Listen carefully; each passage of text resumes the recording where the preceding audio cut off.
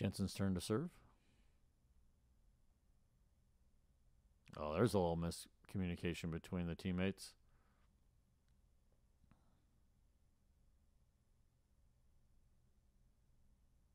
I very much disagree with the invite up ball there. Worked out in the end, but let's back this up and take a look at it. Okay. We're going to go pretty slow through this one. Okay. So medium range uh, on the serve, and the ball's still bouncing right about there.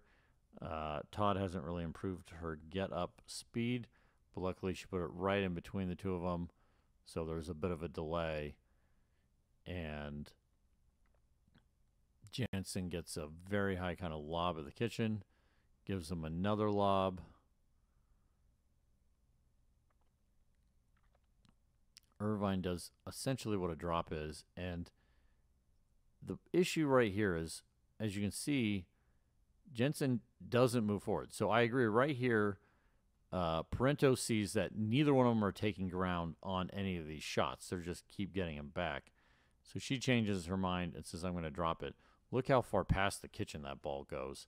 So this is an off one. If you're going to play that shot, which I don't recommend, that's just an awful bad shot to do. Number two, she literally hits it to Irvine. Let's take a look here. From this ball, there is where the big opening is, right? So she could have smashed it right down the middle and you have this big giant opening. But let's also look at these lines mean the exact same thing. For, I'll draw it this way. For, if she dropped it directly in front. That's how far uh, Jansen has to go. If she drops it directly in front, look how far uh, Irvine has to go. But she, instead of dropping it directly in front of her, which would be the longest distance for her opponents, she hits it to the left, which now gives it about half the distance, if not less, for all uh, Irvine had to do was now do a mid-court drop.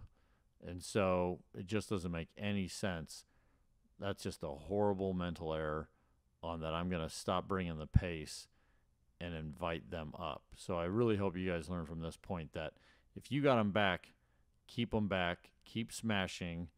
Um, it just doesn't make any sense that you think you're going to play somebody hit a drop like that and they're not going to come get it, especially one of that quality. Okay, so Irvine does this drop and now they're almost to the kitchen.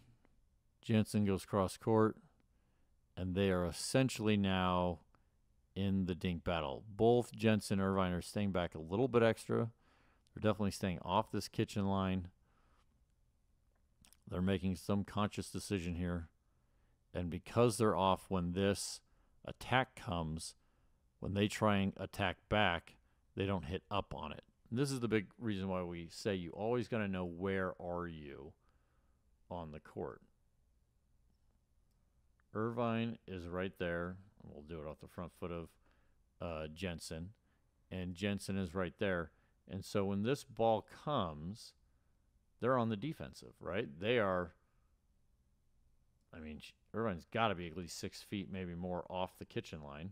So Parenteau sees this and realizes, hey, they're going to stay back there. I have the advantage. I'll speed this up. I've got less risk because the ball's going to come back slower. So she's only doing a little flick on this. This is not a strong ball. It's not coming really fast. She's just like, hey, you're you're on the defense. I'm going to see if I can keep you back.